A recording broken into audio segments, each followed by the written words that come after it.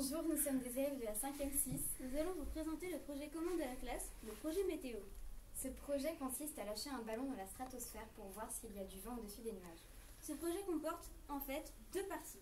La classe a donc été séparée en deux groupes. Le premier s'occupe du lâcher du ballon qui vient de s'élever et le second groupe s'occupe de faire des précisions météo. Voici l'extérieur de la nacelle. La nacelle sert à contenir multiples instruments pour voir s'il y a de l'air au-dessus des nuages. La nacelle contient des capteurs d'humidité ainsi qu'une caméra placée sur le côté de la nacelle. À l'intérieur de la nacelle, il y a un boîtier vert appelé Kikiwi. Il sert à nous envoyer les coordonnées du ballon. Il y a une carte pour alimenter la caméra et des piles pour alimenter le détecteur de lumière qui est placé en haut de la nacelle ainsi que le détecteur d'humidité. Une carte Arduino sert à contrôler les mouvements de la caméra. Une autre sert à calculer l'humidité, la température et la précision qui sert à calculer l'altitude.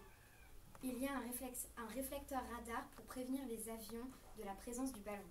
Lorsque le ballon aura éclaté, le parachute servira à ralentir la chute de la nacelle. Pour gonfler le ballon, il faudra deux bouteilles d'hélium. Une fois le ballon gonflé, nous y avons attaché un parachute, le réflecteur radar ainsi que la nacelle. Au moment du lâcher, il faut être très prudent. Nous aurons les résultats vers environ 17 heures. Donc, pour l'instant, le ballon est censé faire euh, ce, trajet. Il, est censé éclater à peu près ici, vers Beno, et atterrir par là.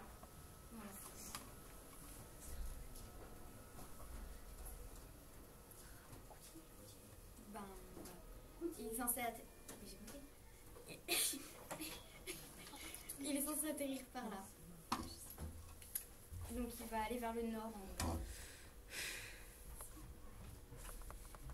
Merci, d'avoir écouté. Nous vous tiendrons au courant des résultats. Les élèves de la 5e 6.